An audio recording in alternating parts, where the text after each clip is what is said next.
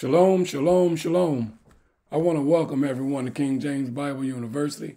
I'll be your host this evening, Elder Lynn. My brothers and sisters will be taking a look at a pretty interesting teaching on this evening. And the heading of this teaching, the rain upon the earth. The rain upon the earth. My brothers and sisters, as we very well know, God sends us similitudes on the earth to show us those things that we're to recognize in scriptures rain upon the earth. So we very well know from Genesis to Revelation that rain or water is known as knowledge. So we have to understand these things as we are reading and studying the Word of God and as we're going through Scripture. And we also have to make sure that we understand the earth. The earth. The similitudes that are recorded here in the Bible helps us to understand those parables and the mysteries and secrets of God's words through his precepts. The rain upon the earth. So, my brothers and sisters, I hope you have your notebook, pad, ink, pen, and paper, and as always, most importantly, your Bible. And let's get started and let's walk through Scripture to see what Thus says the Most High God. The rain upon the earth. So we'll start right here, my brothers and sisters, right here at Psalms 65 and verse 9, and it's recorded. Thou visiteth the earth and watereth it. Thou greatly enricheth it with the river of Yahweh, which is full of water thou preparest them corn when thou hast so, so provided for it. So we see clearly, my brothers and sisters, that the Most High God sends us his rain. He sends us his wisdom, his knowledge, his understanding.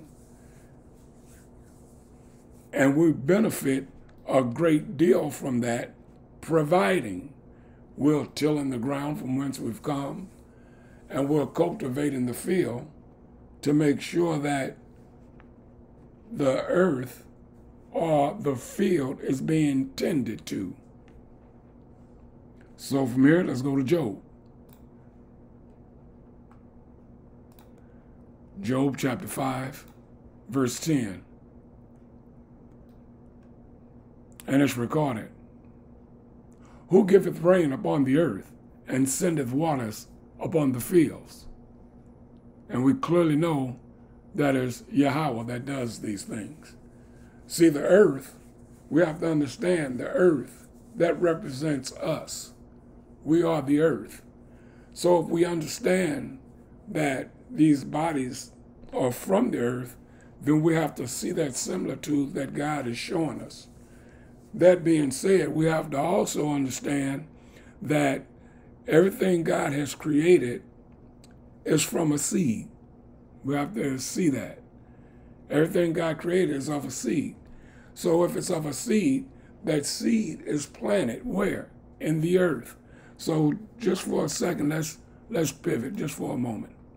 And we're going to go right here to 1 Corinthians chapter 15, and we'll hit verses 36, I believe it is.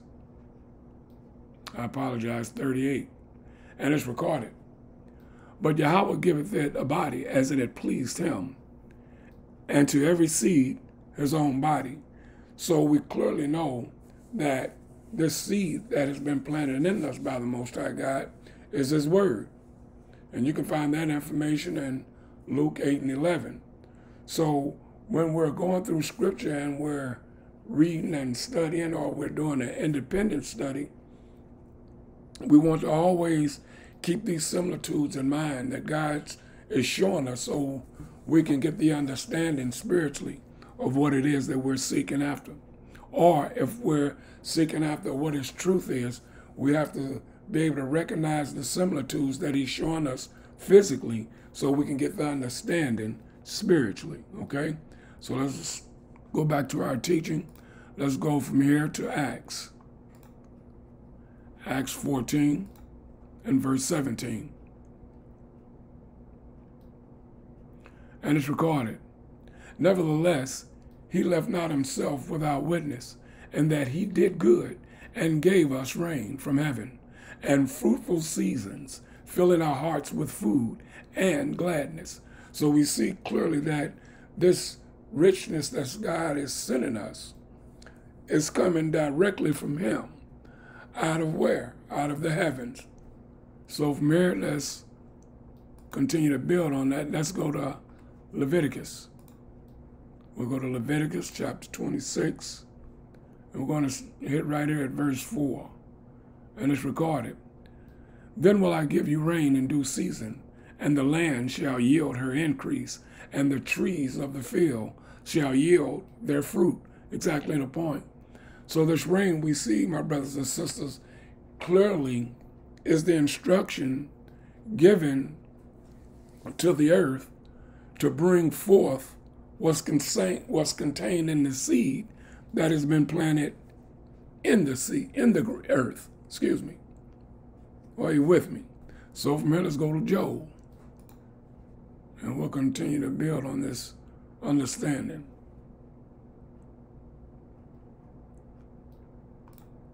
Joel chapter 2, and we'll hit verses 23 and 24.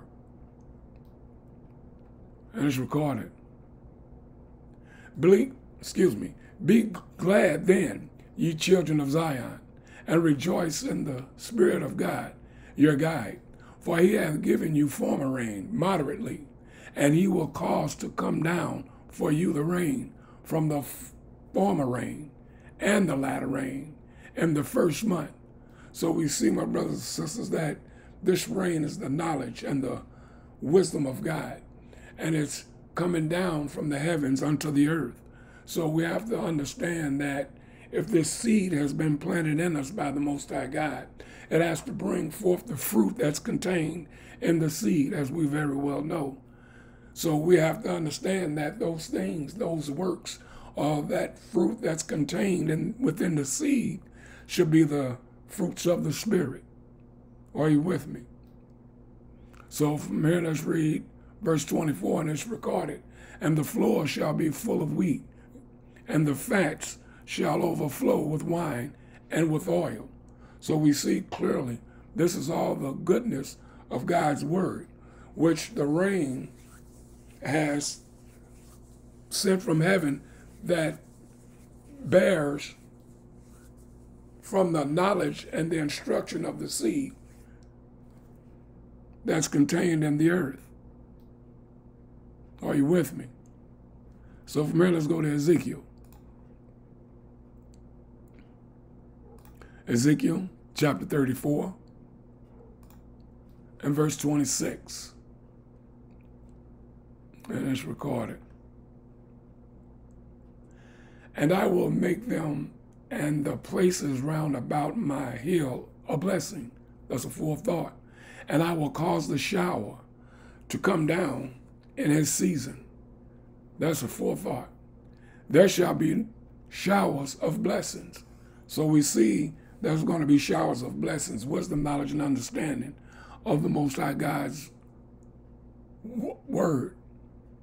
So we have to continually search the scriptures for the for the truths, so we're able to understand those things that is presented to us around us, my brothers and sisters. We must understand that these things around us are similitudes of the things that's recorded here in Scripture that God wants us to see physically, so we can get those things, those understanding spiritually. So we have to continue to search the Scriptures for the truth, but we must also use those things that's that's around us. Okay. So from here, let's go to let's hit verse 27, and it's recorded. And the tree of the field shall yield her fruit, and the earth shall yield her increase, and they shall be safe in their land, and shall know that I am the Spirit of God, when I have broken the bands of their yoke, and delivered them out of the hand of those that serve themselves of them. So from here, let's go to Isaiah. Isaiah chapter 30 And we'll at verse 23. And it's recorded. Then shall he give the rain of thy seed, that thou shalt sow the ground withal, and bread of the increase of the earth, and it shall be fat and plenteous. In that day shall thy cattle feed in large pastures. So we see right here, my brothers and sisters, God has planted that seed in the earth, in you. We have to understand, we have to see that similitude. So we'll come back. Let's pivot just for a moment. And let's go to Sirach, to some Ecclesiasticus. Verse 33, chapter 33, and verse 10. And it's recorded. And all men are from the ground, and Adam was created of the earth. Again, my brothers and sisters, Elder Jenkins is notorious when he sees this word here, or the earth. He's notorious for making that separation. He'll always, if you notice, he'll always say Adam or man or Israel, male and female. He's consistent with making that that uh, distinct separation, whether it be Adam, man, or including the earth. So we have to see those similitudes. So let's reiterate this text again. And all men are from the ground, and Adam was created of the earth. So we see, my brothers and sisters, that these bodies are from the earth. So we have to consistently see that similitude. Because if we understand that, then this rain, this knowledge that comes down from heaven, is going to be provide it provides instruction and it's going to the seed that's planted in us is going to identify the knowledge in which or the wisdom in which it was created so once we have received that rain from heaven then we should be bringing forth this fruit from the seed that has been planted in us so let's go back and we'll reiterate this text in Isaiah 30 and 23. And it's recorded, Then shall he give the rain of thy seed, that thou sow the ground withal, and bread of the increase of the earth, exactly the point. And it shall be fat and plenteous. In that day shall the cattle, shall the people feed in large pastures. So from here, let's go to Zechariah. Zechariah chapter 8, and we'll hit verse 12. And it's recorded For the seed shall be prosperous, thy, the vine shall give her fruit, and the ground shall give her increase, and the heavens shall give their dew. And I will cause the remnant of this people to possess all these things. So we see clearly Most High God providing we're to the right side of the plumb line. And we're seeking after him and obeying his ways and not those ways that are of the world. So from here, let's go to Psalms.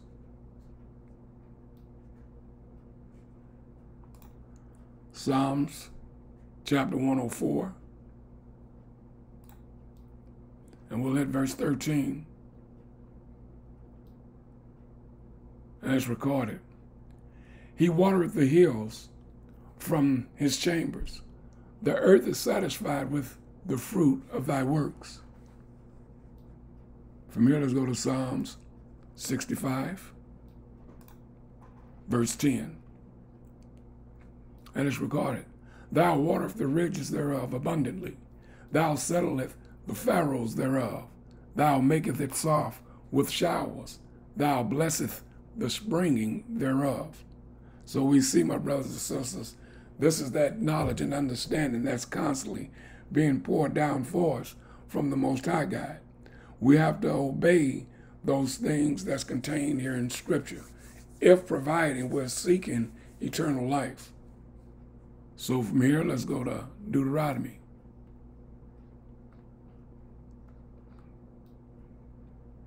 Deuteronomy chapter 32 verse 2. And it's recorded My doctrine shall drop as the rain, my speech shall distill as the dew, as the small rain upon the tender herb, and as the showers upon the grass, which we know the grass are the people. So we have to clearly see and keep these things in mind as we're going through Scripture. So from here, let's go to Jeremiah.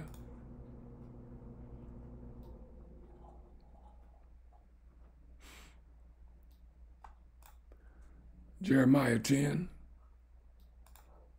and verse 13. And it's recorded. When he uttereth his voice, there is a multitude of waters in heavens, and he causeth the vapors to ascend from the ends of the earth. He maketh lightnings with rain, and bringeth forth the wind, which is the Spirit, out of his treasures. From here, let's go to Psalms 46. Psalms 46 and verse 6. And it's recorded. The heathen raged, the kingdoms were moved. He uttered his voice, the earth melted. From here, let's go back to Psalms 104 and verse 14 and it's recorded. He causeth the grass to grow for the cattle, and the herb for the service of man. Exactly the point. That they may bring forth food out of the earth. So we see, my brothers and sisters, God send us his wisdom, his knowledge, his understanding. Keep in mind that the seed that has been planted in us. Now, either that seed is going to produce, grow and produce those things contained in it, or we're going to allow that seed to be removed and replaced with another seed that's of the world. We clearly can't afford that to happen. That's why it's so important for us to till the ground from whence we've come. We have to make sure there is nothing in the field that's growing opposite of what's been planted in there by God.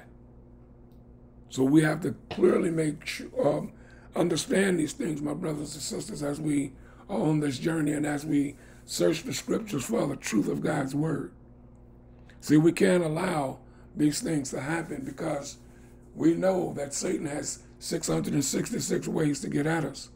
And I'm telling you, now that we have been, those of us that have been a recipient of the Spirit of God's Word, well, that battle has just got gotten intense. The intensity of the battle is has gone up because we have to understand that these are the things that we're up against spiritual warfare in this world. We have to clearly understand these things. It's not physical, it's always spiritual. And we have to be able to identify those things when they present themselves to us. That's why it's so important for us to continually search the scriptures for the truth of God's word and to not allow these individuals to plant other seed to remove us from what we know to be true in God's word. So keep these things in mind, my brothers and sisters, as we move forward on this journey. So let's reiterate this text again. He calls up the grass to grow for the cattle and the herb for the service of man, that he may bring forth food out of the earth. From here, let's go to Genesis. Genesis chapter 1, verse 11. And it's recorded. Tell you what, just a second here. And it's recorded. And Yahweh said, Let the earth bring forth grass, the herb yielding seed, and the fruit tree yielding fruit after its kind, whose seed is in itself upon the earth. And it was so. So we see clearly, my brothers and sisters, that God has planted and given us the herbs of the of the field, and He has planted this tree, these elders, that's in the garden for our learning. So these things are for our good to learn from, my brothers and sisters, as we move through on this journey. We must keep these things in mind Because keep in mind, there was two trees in the midst of the field. There was the tree of knowledge of good and evil, and also the tree of life. So which tree are we eating from? What seed is planted in the field? Because whatever seed is planted in your field, that seed is going to, you're going to bring forth that which is contained in that seed. So we have to make sure that that seed that's in us is of God. So let's sit uh, from here, let's go to Genesis 1 29 and 30. And it's recorded. And Yahweh said, Behold, I have given you every herb bearing seed which is upon the face of all the earth, and every tree in the which is the fruit of a tree yielding seed. To you it shall be for me. Exactly the point. So we see that these things have been created for our learning. These things have been created for us to learn from. So we have to understand these trees are representative of the elders, as we very well know here at KJBU. But we have to understand those things. We have to make sure that we're searching the scriptures for ourselves to make sure that what we're being taught is lining up with everything in scripture. We have to keep these things in mind because we have to always watch who we learn from, my brothers and sisters. Verse 30 And every beast of the earth, and to every fowl of the air, and to everything that creepeth upon the earth, wherein there is life, I have given every green herb for meat. And it, and it was so. So from here, let's go to Jeremiah.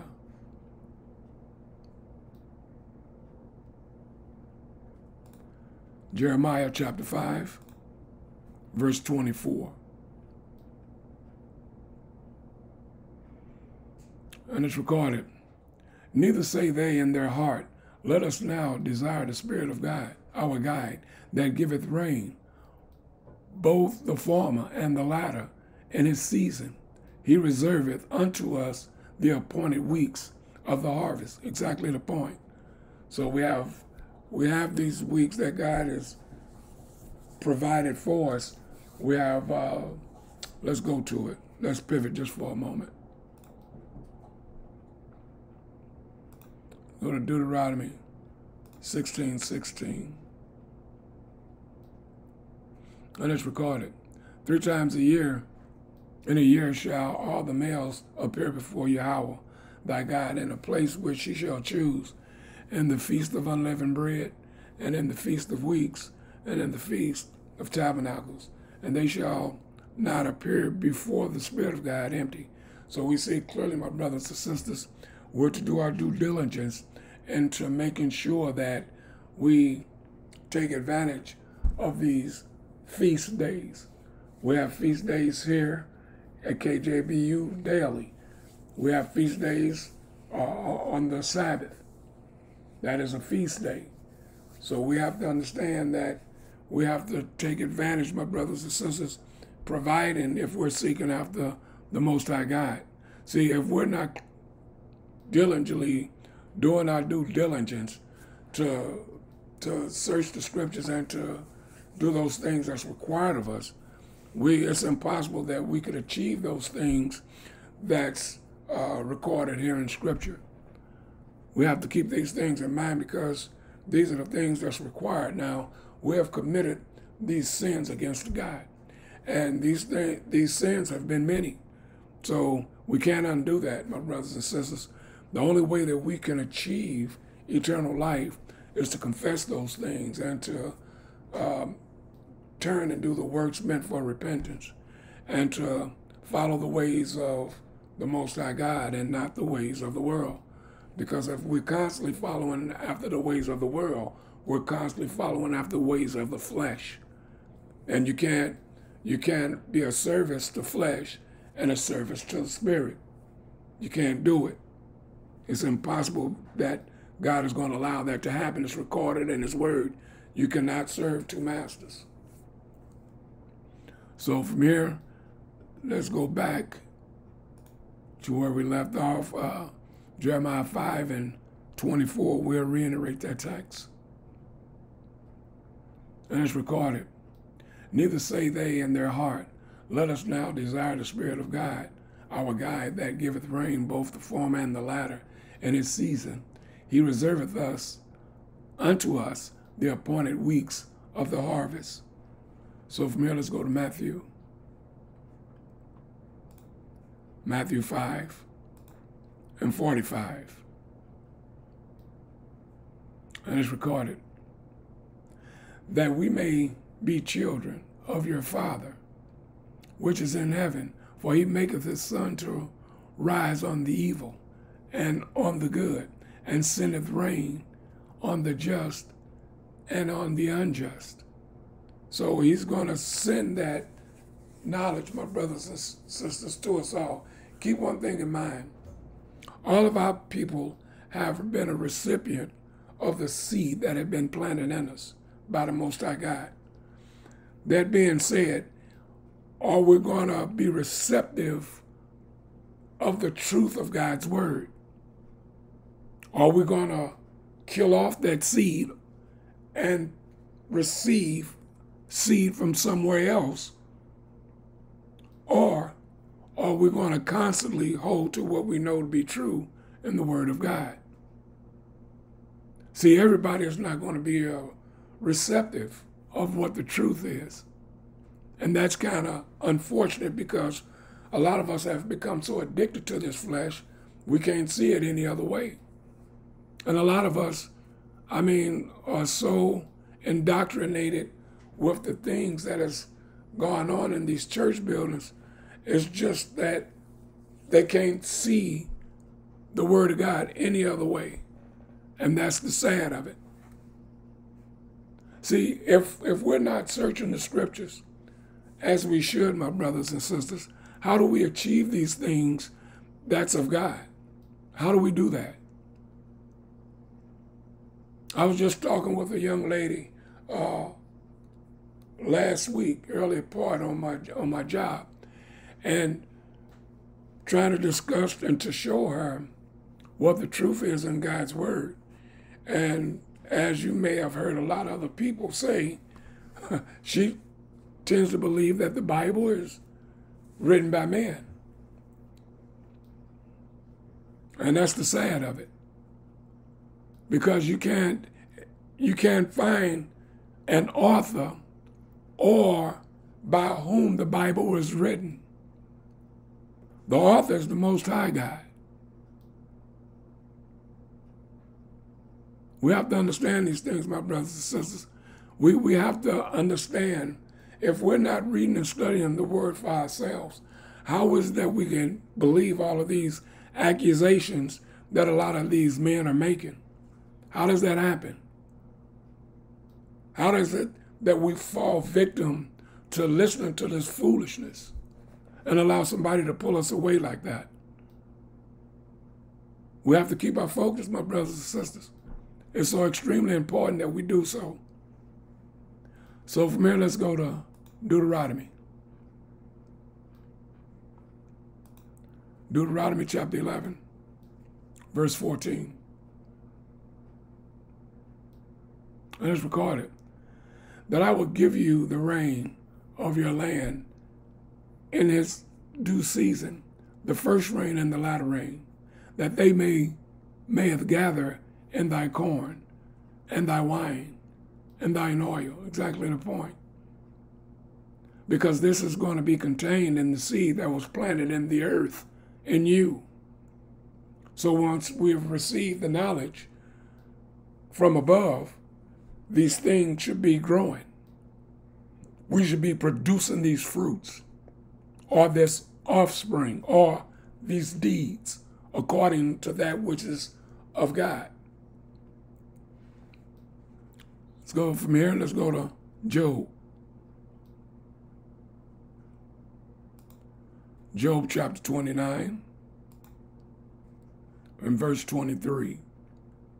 And it's recorded right here. And they waited for me as for the rain, for thought, and they opened their mouth wide as for the latter rain. From here, let's go to Exodus. Exodus chapter 34 and verse 22. And it's recorded. And thou shalt observe the feast of weeks, of the first fruits of the wheat of harvest, and the feast of ingathering at the year's end. So we see, my brothers and sisters, that we have to continually receive our omer daily. We have to continually till the ground from whence we've come. This is important. For here, let's go to Job. Go back to Job, chapter 37. And we'll hit 6 down to 13, and it's recorded. For he saith to the snow, Be thou on the earth, likewise to the small rain, and to the great rain of his strength. He sealeth up the hand of every man, that all men may know his work. Then the beasts go into the dens and remain in their places. Out of the south cometh the whirlwind, and cold out of the north. By the breath of Yahweh frost is given, and the breath, the breadth of the waters is straightened. Also by watering he wearieth the thick cloud. He scattereth his bright cloud. 12. And it is turned around about by his counsels, that they may do whatsoever he commandeth them upon the face of the whole world and the earth. Are you with me? We can't let this get past us. That's you.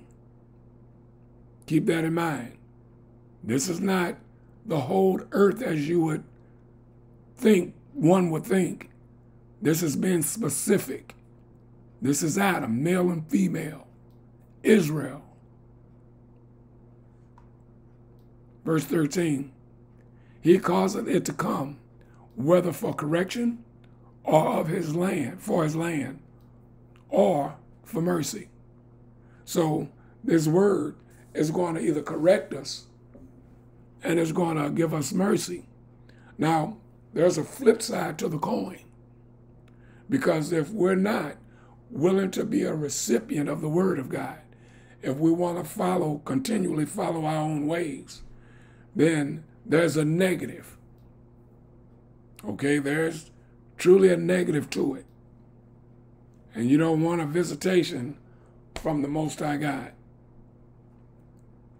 So from here, let's go to Psalms. Psalms 104.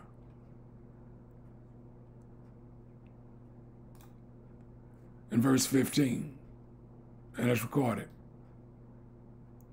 And wine that maketh glad the heart of man, and oil to make his face to shine, and bread which strengthen man's heart. Exactly the point. So all of these things, my brothers and sisters, this wine is the pure form and the pure knowledge of God. This oil, of course, that's the spirit. You need that because that is what illuminates you. That is what gives you life. It gives you life. I constantly let's let's pivot for a moment. I constantly re reiterate this text because I want you to see it for yourself. Exodus 34.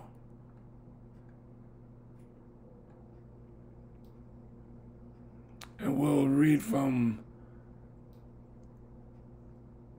Exodus 34, we'll read from 33 down, and it's recorded. Until Moses had done speaking with them, he put a, put a veil on his face.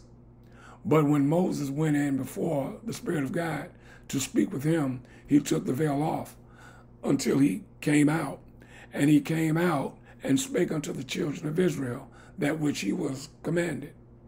Verse 35 And the children of Israel saw the face of Moses, that the skin of Moses' face shone. And Moses put the veil upon his face again until he went in to speak with him.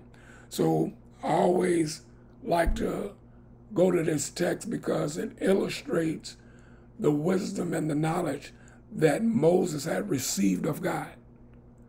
So if we understand that, his face shone. If you could picture a, a candle, and if you once you've light lit the candle, that flame at the top, that's representative of the spirit. Because the spirit is what? It's light and including the life of men. Let's build on that. Let's let's go to uh, let's go to John. John 1 and 4. And it's recorded. In him was life, and the life was the light of man. Are you with me? So again, if if you can understand the kerosene lamp, and you could picture this similitude. Now, at the very bottom, that holds the oil. That oil, that that portion of that lamp, that's the body, that's you. The oil is the spirit. Okay, now that wick, that wick is the portion of your body that has been a recipient of the spirit. Once that spirit is received, you should illuminate. See, the spirit allows the wick to become lit. And once the wick is lit, it illuminates. And as long as there's oil in the lamp, that's you, that light will burn. So that oil should be contained in your heart, constantly burning for the Most High God. Are you with me? See, we have to be able to see these things that God shows us physically to get those understandings spiritually. So let's go back to Psalms 104 and we'll reiterate that text. Psalms 104 and 15. And it's recorded. And wine that maketh glad the heart of man, and oil to make his face to, to shine, and bread, the knowledge, which strengthen man's heart. So from here, let's go to Jeremiah. Jeremiah chapter 31 and verse 12. And is recorded. Therefore, for this reason, they shall come and sing in the height of Zion, and shall flow together to the goodness of the Spirit of God, for wheat and for wine, and including for oil, and for the young of the flock and of the herd, and including their soul shall be as the watered garden, and they shall not sorrow any more at all. Exactly the point. Because now you are being filled with the Spirit, the wisdom and knowledge and understanding of the Word of God. The rain. The rain. So from here, let's go back to Psalms 23, and we'll hit verse 5, and it's recorded.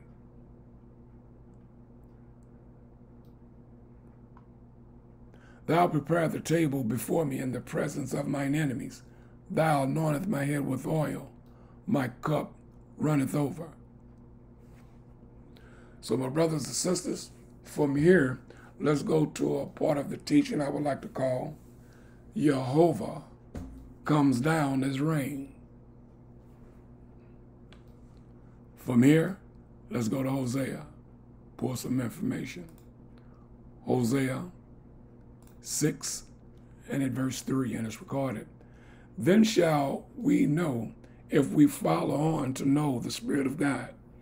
His going forth is prepared as the morning, and he shall come unto us as the rain, as the latter and the former rain unto the earth. From here, let's go to Psalms. Psalm 72, verse 6. And it's recorded.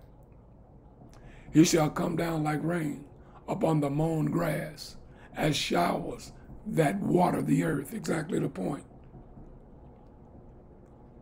Even in the first part of the teaching, we see that there's knowledge is coming down. This is Jehovah. Keep that in mind. This is Jehovah. He shall come like rain upon the mown grass, as showers that water the earth. From here, let's go to 2 Samuel.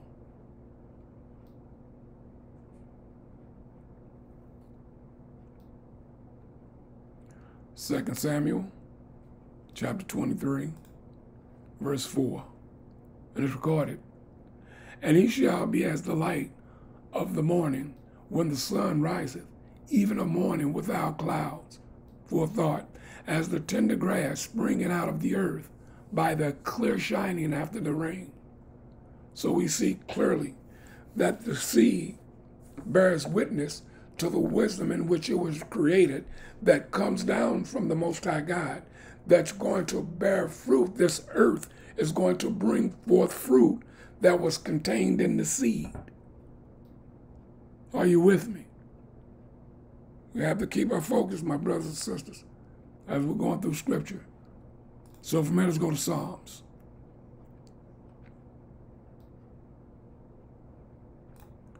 Psalms 110. And we'll hit verse 3. And it's recorded, Thy people shall be willing in the day of thy power, in the beauties of holiness. From the womb of the morning, thou hast the dew of thy youth. From here, let's go to Micah.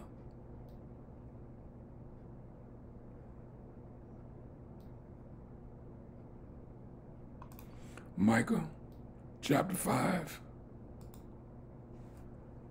verse 7. And it's recorded. And the remnant of Jacob shall be in the midst of many people, watch this, as a dew from the Spirit of God, as the showers upon the grass, upon the people, thou tarriest not for man, nor waiteth for the sons of men. Are you with me? From here, let's go to Zechariah. Zechariah chapter 10, right here at verse 1. And it's recorded, As ye of the Spirit of God reign in the time of the latter rain, for thought, so the Spirit of God shall make bright clouds and give them showers of rain to every one grass in the field. From here, let's go to Proverbs. Proverbs chapter 16, verse 15. And it's recorded. And the light of the king's countenance is life for thought, and his favor is a cloud of the latter rain.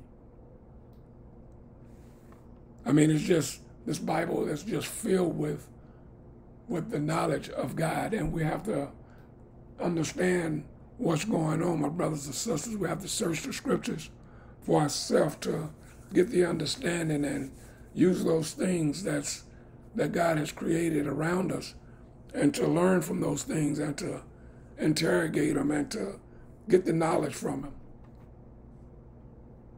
So from here, let's go to Hosea chapter 10, verse 12 and it's recorded.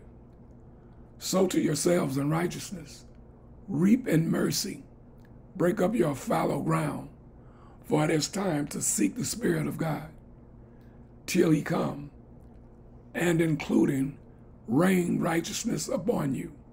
So we see clearly, my brothers and sisters, that we have to do our due diligence to continually seek after the truth of God's word and to understand the things that's recorded in scripture instead of listening to these men in these prison houses. Because one thing's for certain is that if the things out of these church buildings don't line up with what's recorded in scripture, my brothers and sisters, it is so very important that we have to remove ourselves from that. Because otherwise, I can guarantee you, you're going to be misled. You're going to be deceived. And the sad part about it, a lot of these men that's in these church buildings really think that they're teaching God's truth. The biggest problem that they have, they don't like to humble themselves to see and to find out what the truth of God's word is, especially if you're trying to show them something. Their biggest problem, the Christian pastors, the biggest problem that they have, they don't want to be wrong. They do not like to be wrong. But that's the point. Because if we're calling ourselves reading and studying the Word of God, and we're understanding or we're trying to find out the truth of God's Word, we have to make sure that the things that are coming out of this man's mouth lines up with Scripture, my brothers and sisters. Just don't let that guy go away and, and thinking that you have received something of, of God's Word, which is contrary to what's recorded. Don't just take that. Question that. Because if you're not going to question that, then you're taking that as truth. And you have to search the scriptures to make sure that everything is lining up as it should. He shouldn't be telling you that there's blood in heaven for eternal atonement. Because if he's teaching that, he plans on not coming out of the sin business. Why? Because he's steady teaching that there's blood in heaven for eternal atonement. That makes absolutely no sense at all. Christ only died once for sin, once. So that suggests if he's teaching that blood is in heaven for eternal atonement, that means Christ died more than once for, for, for sin. And you can't find that anywhere recorded in Scripture. And if so, give me book, chapter, and verse. So we have to be careful, my brothers and sisters, and watch who we learn from. So let's reiterate this text again.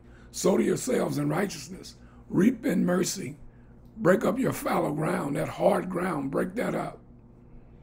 For it is time to seek the Spirit of God till he come and rain righteousness upon you. So from here, let's go to Isaiah. Isaiah 45 and verse 8. And it's recorded Drop down, ye heavens, from above, and let the skies pour down righteousness. Let the earth open, and let them bring forth salvation, and let righteousness spring up together. For thought, I, the Spirit of God, have created it. Exactly the point. All of this is tied together, my brothers and sisters. The rain, the snow, hail, all of those things are representative of knowledge according to Scripture. We have to understand these things as we go through Scripture and as we're on this journey. From here, let's go to Isaiah 55, verse 10. And it's recorded For as the rain cometh down and the snow from the heavens, and returneth not there, but watereth the earth, and maketh it bring forth and bud, that it may give seed to the sower and bread to the eater.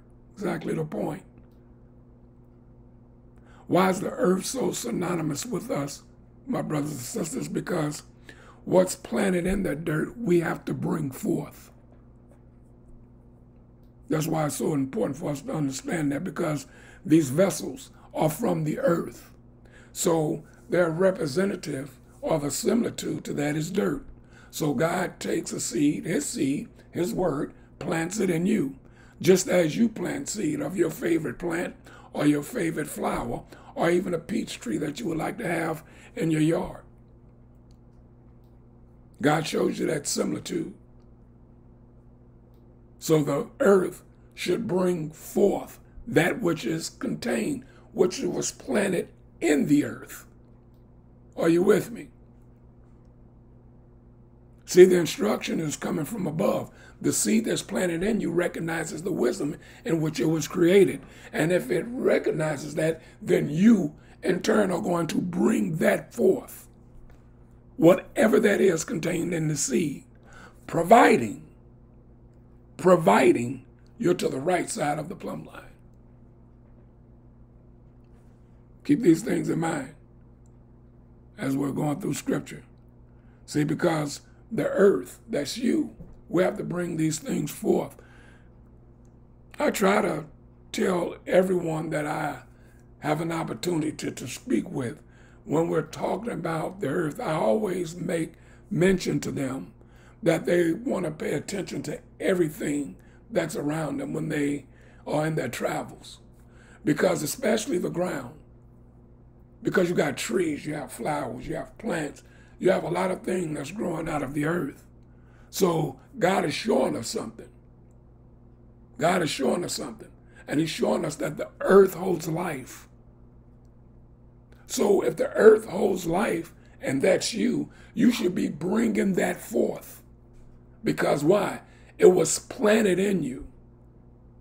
See, those of us that have been a recipient of the Spirit of God, when we had our trip in Georgia, we have to understand we no longer breathe air we breathe life. It's of the Spirit. So if the earth holds life and the seed that has been planted in us by God, we should be bringing forth that which is contained in the seed. Are you with me? God could care less about the ground after that produces what his seed has in it. God should be able to go through the garden and be able to pull fruit off your tree that's edible for him to eat. Why? Because it's of a seed that he planted. It's not from some other seed. The only seed that God plants is that which is of life. Are you with me? that which is of life. So we're going to pivot just for a minute. Let's go somewhere. Let's go to Second Esdras. Wait a minute. Second Esdras, chapter 4. And we're going to hit verse 30. And it's recorded. For the grain of evil seed hath been sown in the heart of Adam from the beginning and how much ungodliness hath it brought up until this time? And how much shall it yet bring forth until the time of the threshing, to the time of the separation?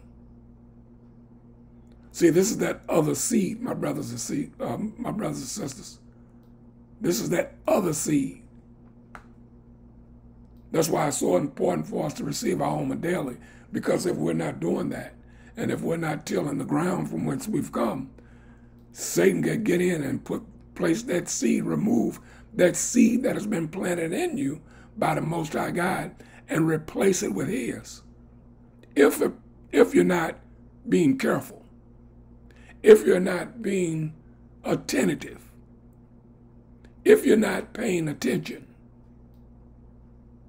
See, that's why this work that we have to do is daily. This is no let up. I say all the time, even in your dreams, my brothers and sisters, as we sleep, Satan can send you message through vision and through dreams. We have to keep these things in mind. It's no let up with this guy. We have to protect the seed that has been planted in us by the Most High God. There's no turning back. There's no gray area now.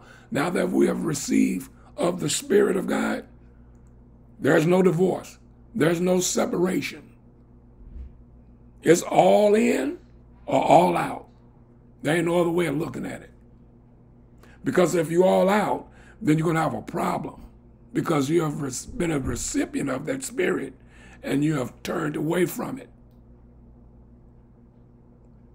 It has to be all in. I want you to keep that in mind, my brothers and sisters, as we move forward on this journey. So let's reiterate uh, Isaiah 55 and 10 again. And let's record it.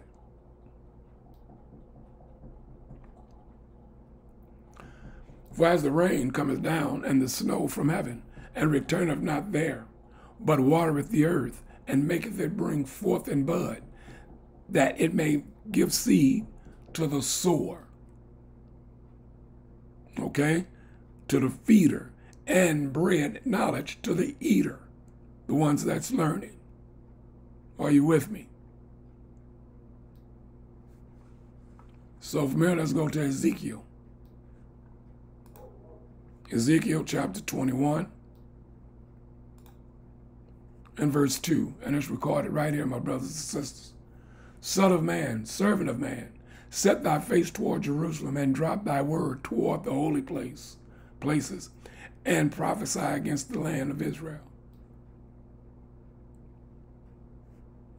From here, let's go back to Hosea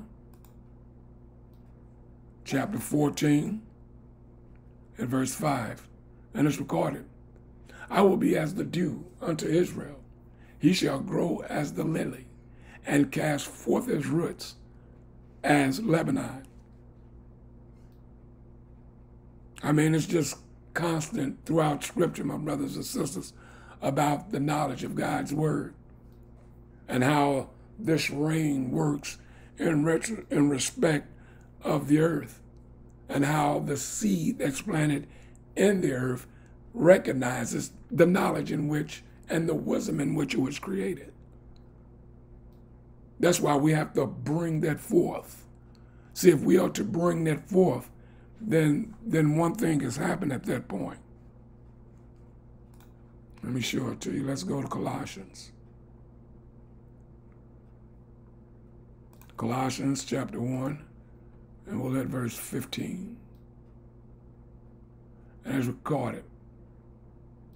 Who is the image of the invisible God, the firstborn of every creature?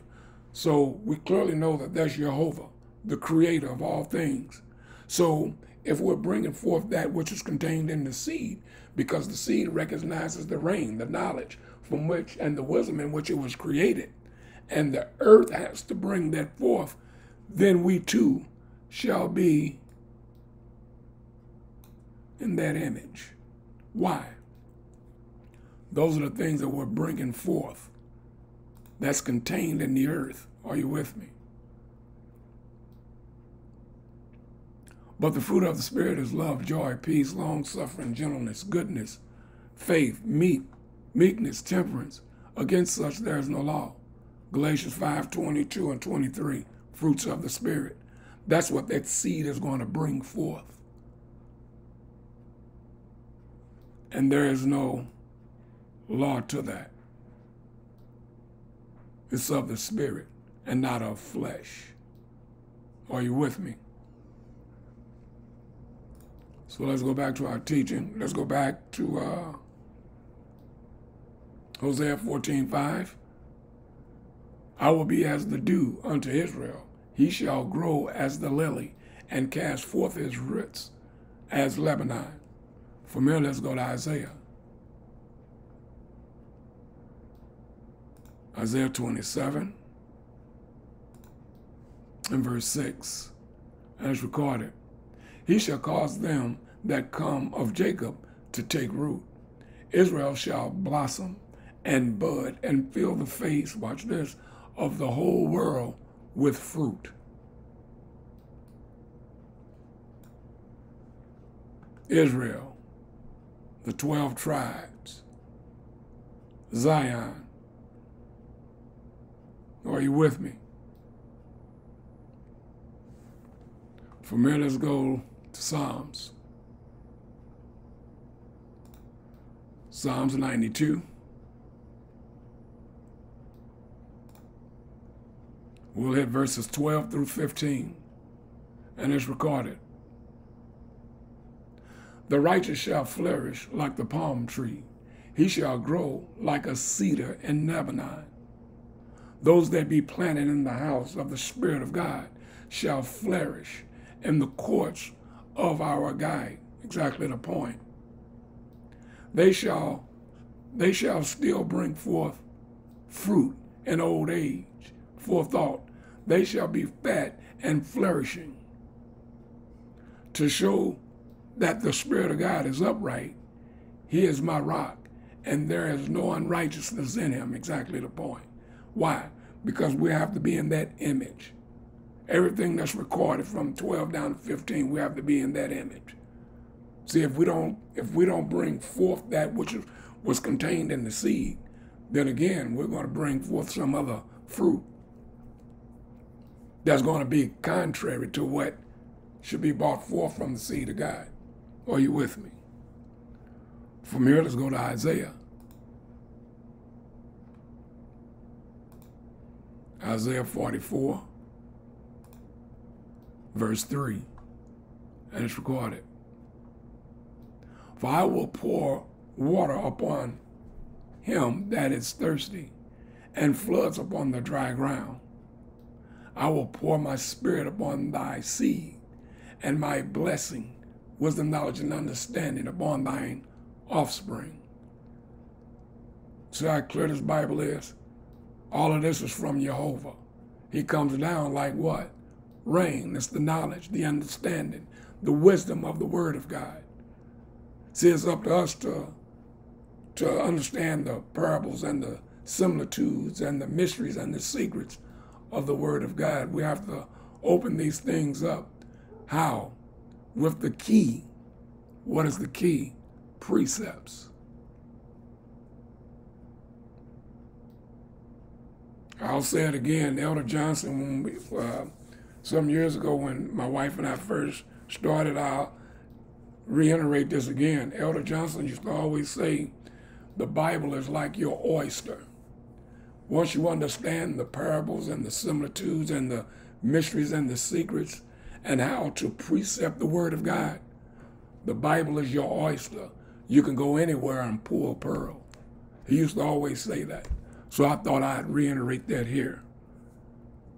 And that's no joke because the Bible is your oyster. And once you understand the things that's recorded here in Scripture and those similitudes and how parables and how things work and understanding these things, you can go anywhere and pull a pearl.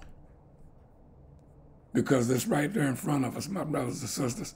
We just have to be diligent and humble ourselves. We have to humble ourselves if we're not going to humble ourselves and listen, we're, just a we're a, big, we're a big mistake to ourselves when that happens. We only hurt ourselves. We have to understand, my brothers and sisters, that we need to focus on what's recorded. We need to continually search the scriptures for the truth. So from here, let's go to Job.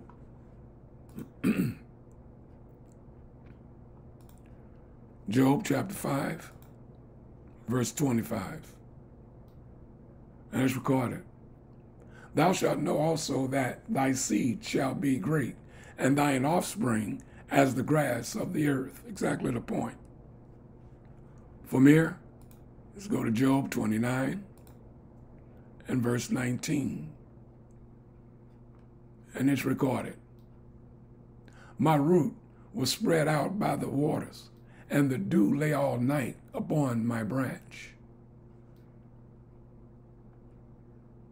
Verse 20, my glory was fresh in me and my bow, my bow was renewed in my power.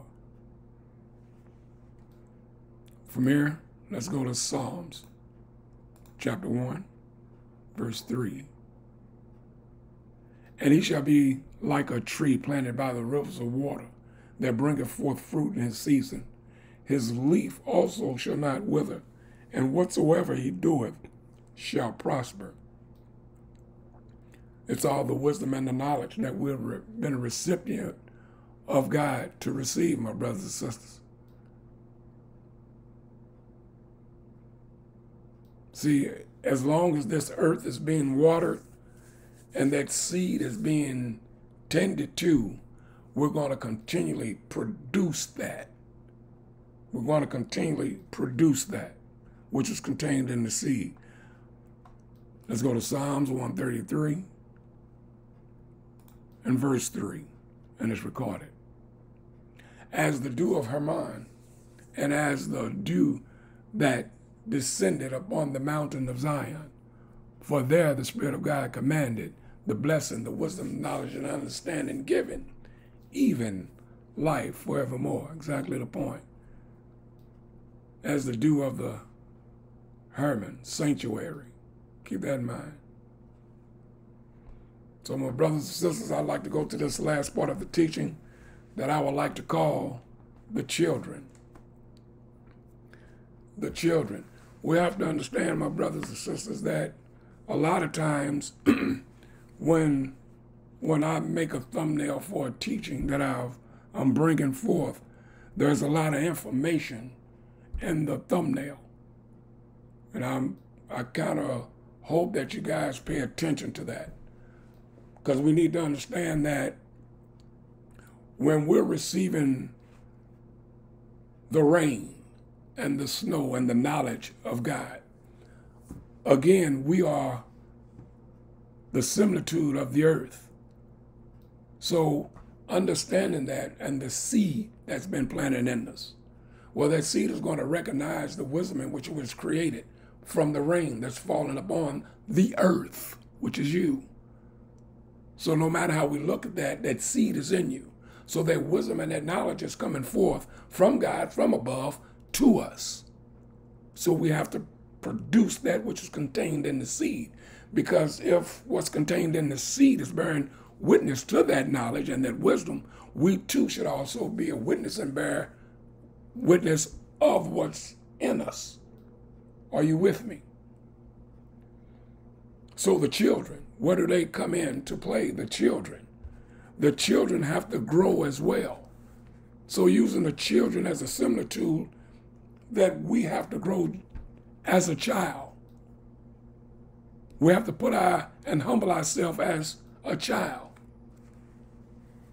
So we too can grow. See, we have to understand these things because when it's just like when a mother have brought forth her child. Now, the baby, baby does three things when baby's been bought bought home. Eat, sleep, and poop. That's it. That's baby's job. Now, the more baby eat, the bigger baby get. So if we understand that concept and that similitude, it's the same conception, I mean the same thing with us. The more we learn the word of God, the more we know, the more we grow, just like baby. So we have to feed our children the same way. See, because we have to see the similitude. We're in the womb. We are in the womb. Now, when this flesh that we're in expire, then that seed that was planted in us, we have to bring that forth. Now, if we bring forth of that seed that has been planted in us, then it should be what? Spirit. Now we have a better understanding of Ecclesiastes 12 7. But I, we, we have to understand these things, my brothers and sisters, because again, the children, we have to teach them. But we have to humble ourselves as a child to be recipient of what's contained in the word. Because uh, have you ever heard the term, uh, um, you're never too old to learn things? That's a fact. Or you may have heard the term, uh, what is it? You could, you can't teach a dog, an old dog, new tricks, or something to that effect. We have to understand, my brothers and sisters, we have to humble ourselves just as a child in order to be to be a recipient of those things that's contained in scripture because a child's mind when we're rearing our children they are more receptive to receive of that instruction that you give them. Why do we why do I use this these children as an example? Because a lot of us that are of age and that are up in age, it's hard to show them, to get them to understand what things are. It's harder for them to turn from what they've been doing as opposed to a child. Are you with me? So we have to be, we have to humble ourselves as a child. Okay, let's keep these things in mind. So from here, let's go to Proverbs. I'm going to pull some information. Proverbs 22 and verse 6. And it's recorded Train up a child in the way he should go, and when he is old, he will not depart from it. Exactly the point. Because we too have to understand these things, my brothers and sisters. It's being reborn again. We have to be receptive just as a child. We have to be reborn. See, because the first time we came in what? Flesh. This rebirth deals with being brought forth now in the spirit. We have to be born again. So we have to humble ourselves as a child. I want you to stay with me. So from here, let's go to Sirach, to some Ecclesiasticus, chapter 7, verse 23. And it's recorded, Hast thou children? Instruct them and bow down their neck from their youth. So we have to make sure that we're we're doing rearing ourselves or rearing our children just as we should be being reared by Jehovah. I want you to stay with me because we have to humble ourselves. For those that are new here to this channel, you have to become humble. You have to become just as a child to be recipient of what's recorded here in God's Word. So from here, let's go to Ephesians.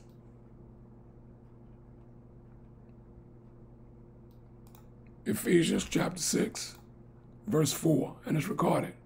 And ye fathers, provoke not your children to wrath, but bring them up in the nurture of admonition and admonition of the Creator. Exactly the point. See, because the more the earth receives the rain, the more we grow, just as a child. I want you to stay with me. So when we're teaching our children, then we're giving them the inheritance. We're giving them the inheritance that's from the from the Spirit of God. So once they have been trained up in that way, they would never depart from that. Are you with me? I want you to stay with me because, again, we have to be brought forth as the Spirit and not flesh. So from here, let's go to Genesis. Genesis chapter 18. We're going to hit verse 19. And it's recorded.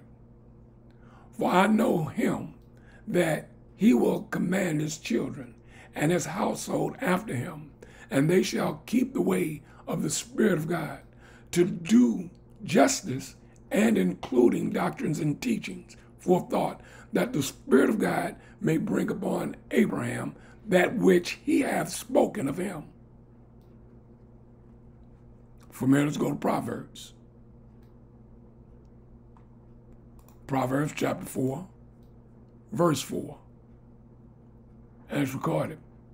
He taught me also and said unto me, Let thine heart retain my words, keep my commandments, my instructions, and live. Exactly the point. See, because any other doctrine that's contrary to the word of God is doctrine of death. I want you to stay with me. It's a doctrine of death. Anything to the left side of the plumb line if you're being taught that it's okay to eat pork, if you're being taught that flesh is in heaven, if you're being taught that the Most High God dwells in buildings made with hands, you are learning a doctrine of death.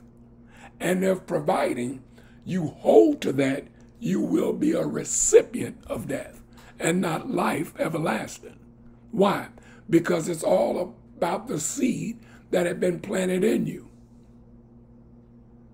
It comes right back to that.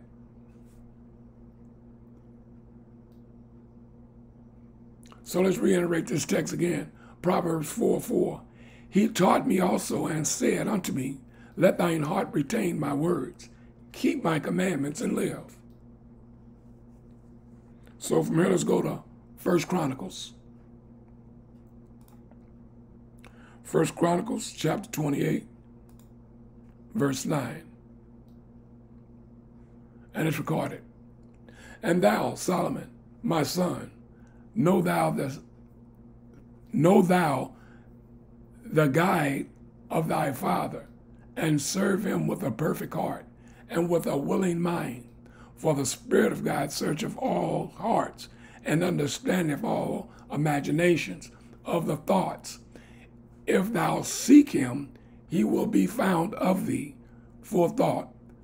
But providing if thou forsake him, he will cast thee off forever. So a lot of us tend to believe, my brothers and sisters, that we are seeking after God in these buildings, these church buildings. Let's go somewhere. Let's pivot just for a moment. Let's go to Acts and pull some information. We have to see this. Acts 17 and verse 24. And it's recorded. It says, God that made the world and all things therein, seeing that he is Lord of heaven and earth, dwelleth not in temples made with hands. So if you are new here to this channel and you're going into a building that they call a church, God dwells not in those buildings. You are the temple, not the building. That building belongs to another spirit and it has absolutely nothing to do with the Most High God. You are the temple.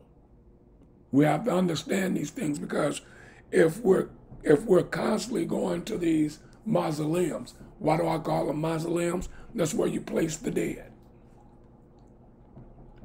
It is important that we read the Bible and study the Bible for ourselves. We have to make sure that everything lines up according to what's in Scripture. If these guys are telling you that this building is the house of God, it's important that you search the Scriptures to make sure that what is coming out of His mouth is lining up with everything recorded here in Scripture. Because if you're not doing that, you're going to be in a bad position once that flesh you in expire with God. You have done everything contrary to the word. The scripture says if a man needed home, let's go to it. Let's just go to it. Let's go to 1 Corinthians. 1 Corinthians 11 and 34. And it's recorded. If providing any man hunger, let him eat at home, that ye may that ye come not unto condemnation, and the rest will I set in order when I come. We have to be mindful of these, my brothers and sisters. This is a serious walk. Okay? So from here, let's go to 2 Timothy. 2 Timothy chapter 3, verse 14 and 15. And it's recorded. But continue thou in the things which thou hast learned and hast been assured of, knowing of whom thou hast learned them. Exactly the point. Exactly the point. Verse 15. And that from a child thou hast known the holy scriptures, which are able to make thee wise unto salvation, unto salvation, unto salvation through faith, which is in the anointed one, salvation. That's clear scripture, my brothers and sisters. We have to be as a child and humble ourselves. We have to understand the things that's recorded and those mysteries and secrets and those similitudes. From here, let's go to 1 Timothy. 1 Timothy chapter 4 and at verse 6, and it's recorded. If thou put the brethren in remembrance of these things, thou shalt be good. Thou shalt be a good minister unto Yahweh the Messiah, nourished up in the words of faith and including of good doctrine, whereunto thou hast attained. Exactly the point. From here, let's go to 1 Peter. 1 Peter chapter 2, verse 2. Watch this.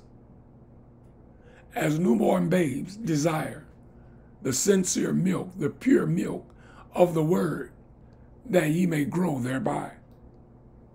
So we see clearly, my brothers and sisters, that not only do we have to learn ourselves from the things that we have done against our God, but to keep our children from those things, we have to train, we have to train them in the ways in which they should go. And later they will not depart from that. Because this is the inheritance that we should be leaving our children. This word. The wisdom, knowledge, and understanding of the truth of the Most High God. It should be passed down from one generation to the next. We can't continue to harp on those things that our forefathers have done.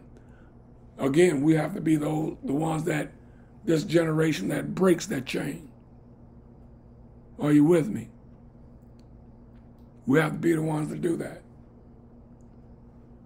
So let's read that text again, and it's recorded. As newborn babes desire the sincere milk of the word, that ye may grow thereby. Exactly the point because we have to we have to understand these things, my brothers and sisters, as we move through Scripture. For me, let's go to Matthew. Matthew chapter 18 and verse 3, as recorded. And said, Verily, I say unto you, except ye be converted and become as little children, ye shall not enter into the kingdom of heaven. Exactly the point. See, because a lot of us are so stuck in our way, we don't want to do what other people is trying to help us with because we think that they're trying to turn us away from something, when in fact, we're only trying to help you and show you what the truth is. But a lot of us have become so stuck into our way, and that's going to cause a problem for us. That's going to be a huge problem for those that are diligently or seeking after the Most High God, but are not willing to turn from their way. That's going to be a hard accomplishment. See, it's best to learn what the truth is now while we're yet in this flesh. Because if we wait until this flesh expire and thinking that we have done things right and find out that we have completely been total opposite of that. That's going to be a hard wake up call. Let's read this text again. And said, Verily I say unto you, except ye be converted and become as little children, ye shall not enter into the kingdom of God. We have to become humble, my brothers and sisters. We have to become humble. Verse 4 Whosoever Therefore, for this reason shall humble, humble himself as this little child, the same is greatest in the kingdom of, God, of heaven. From here, let's go to Ephesians. Ephesians chapter 4. And we're going to hit verses 15 and 16. And it's recorded. But speaking the truth in love, and may grow in un, into him in all things, which is the head, even Christ. Let's reiterate this text again. But speaking the truth in love may grow up into him in all things, which is the head, even Christ, from whom the whole body fitly joined together and compacted by that which every joint supplieth, according to the effectual working in the measure of every part, maketh increase of the body unto the edification of itself in love. Exactly the point. From here, let's go to 2 Peter. 2 Peter chapter 3, verse 18. And it's recorded. But grow in grace and in the knowledge of our Creator and Savior, salvation, the Anointed One. To him be glory both now and forever. Amen. So, from here, my brothers and sisters, let's go to Deuteronomy. And we're going to pull some information here. Deuteronomy 6, and we're going to hit 4, and we're going to hit all the way down to 7. And it's recorded. Hear, O Israel, the Spirit of God our guide is one Lord. And thou shalt love the Spirit of God thy God with all thy heart, and with all thy soul, and with all thy might. And these words which I command thee this day shall be in thine heart. Verse 7. And thou shalt teach them diligently unto thy children, and shalt talk to them when thou sittest in thine house, and when thou walkest by the way, and when thou liest down, and when thou risest up. Are you with me? So let's go down a little further. And thou shalt bind them for a sign upon thine hand, and they shall be as frontlets between thine eyes. From here, let's go to Deuteronomy chapter 4, verse 9 through 10. And it's recorded. Only take heed to thyself and keep thy soul diligently, lest thou forget the things which thine eyes have seen, and lest they depart from thy heart all the days of thy life. But teach them thy sons and thy sons' sons. Especially the day that thou stoodest before the Spirit of God, thy guide in Horeb, when the Spirit of God said unto me, Gather me the people together, and I will make them hear, understand, perceive my words, that they may learn to fear me all the days that they shall live upon the earth, and that they may teach their children. Exactly the point because we have to understand, my brothers and sisters, our children are the earth. We are the earth. The knowledge that comes down from above. We have to be an extension. They have to be an extension of us, just as we have become an extension, providing we hold to the right side of the plumb line of the Spirit. I want you to stay with me because this is the inheritance that was left us. Now, the things that we must do and the things that we have to uh, go up against and the things that's um, that's contrary, we have to fight these things off, my brothers and sisters.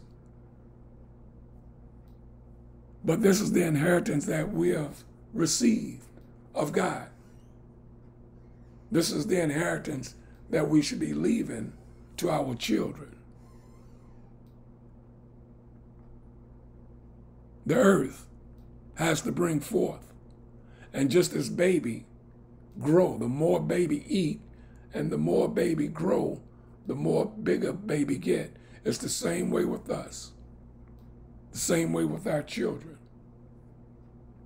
We have to be the one that break this chain we have to be the example to them that that's illustrated here in Scripture that Yahweh was to us.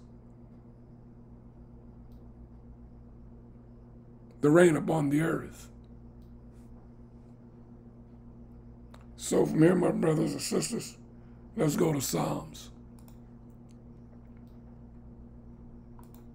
Let's go to Psalm 78.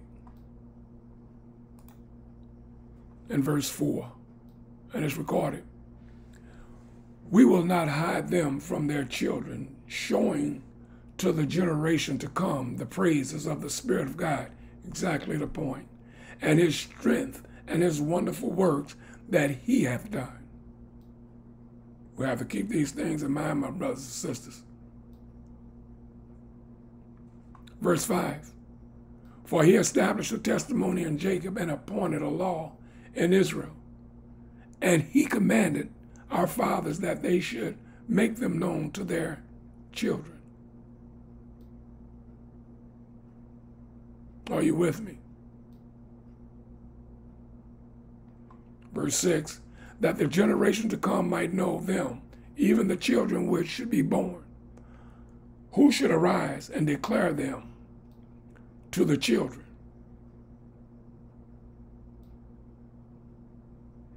That they might set their hope in Yahweh and not forget the works of Yahweh, but keep his commandments. Are you with me? From here, let's go to Joel and pull some information. Joel 1 and 3. And it's recorded. Tell ye your children of it, and let your children tell their children, and their children another generation. Are you with me? From here, let's go to Exodus chapter 12. We'll hit verses 26 through 28. And it's recorded. And it shall come to pass, when your children shall say unto you, What mean ye by this service? That ye shall say, It is the sacrifice of the Spirit of God's Passover, who passed over the houses of the children of Israel in Egypt, when he smote the Egyptians and delivered our houses and including the people bowed the head and worship. Verse 28 And the children of Israel went away and did as the Spirit of God had commanded Moses, and including Aaron, so did they. So we have understand, my brothers and sisters, we have to pass this down to our children. We have to pass this wisdom, knowledge, and understanding down to them so they can understand what thus says the Most High God. From here, let's go to Psalms.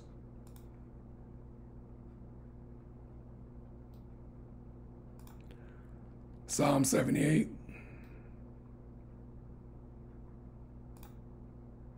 And verse 5. We'll, we'll reiterate that again.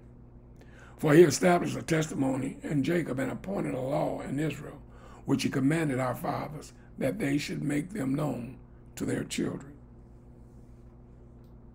From here, let's go back to Psalms 147, and we'll hit verses 19 and 20. And it's recorded. He showed this word unto Jacob, his statutes and his judgments unto Israel. He have not dealt so with any other nation, and as for his judgments, they have not known them. Praise ye the Lord. So from here, my brothers and sisters, let's reiterate another text. Psalm 78 and 6. That the generation to come might know them, even the children which should be born, who should arise and declare them to their children from here, Psalms 102 and verse 18. And it's recorded. This shall be written for the generation to come, and the people which shall be created shall praise the Spirit of God. Exactly the point. Exactly the point. So from here, let's go to Romans Romans chapter 15, and we'll hit verse 4, and it's recorded. For whatsoever things were written aforetime were written for our learning, that we through patience and comfort of the scriptures might have hope. From here, let's go to Isaiah as we wind down past it.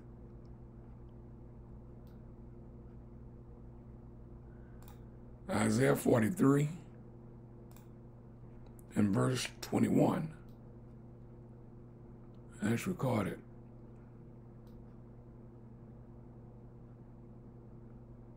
This people have I formed myself for thought.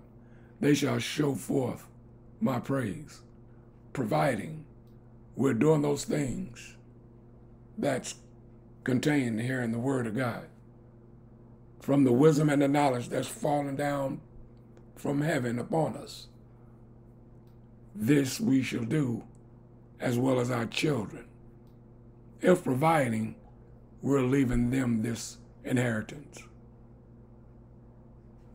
So we'll pull this last text, my brothers and sisters, and it's right here in Psalms. Psalms 22 and verse 31. I can't read my own handwriting. I'm sorry. Psalms 22. And 31, and it's declared, and it's recorded. They shall come and shall declare his righteousness unto a people that shall be born, that he hath done this. So, my brothers and sisters, I hope this teaching is edifying to you. I hope it helps someone on their journey. As we seek here, according to Scripture, my brothers and sisters, the rain upon the earth, we have to understand that this is Jehovah. This is the wisdom, knowledge, and understanding of the Word of God that was sent from Him to us to bear witness of what's contained in the Word of God. We have to understand, my brothers and sisters, that we have to continually clean this temple out. We have to continually till the ground from whence we've come. We have to receive our own daily. I can't stress this enough.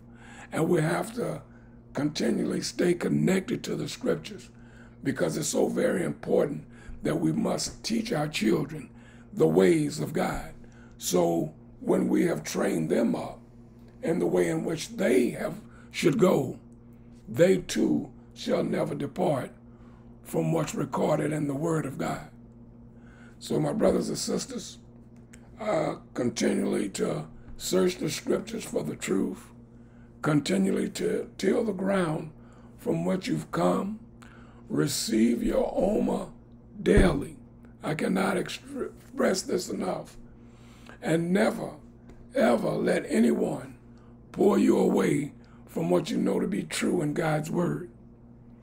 So until we meet again, I say to each and every last one of you, Shalom.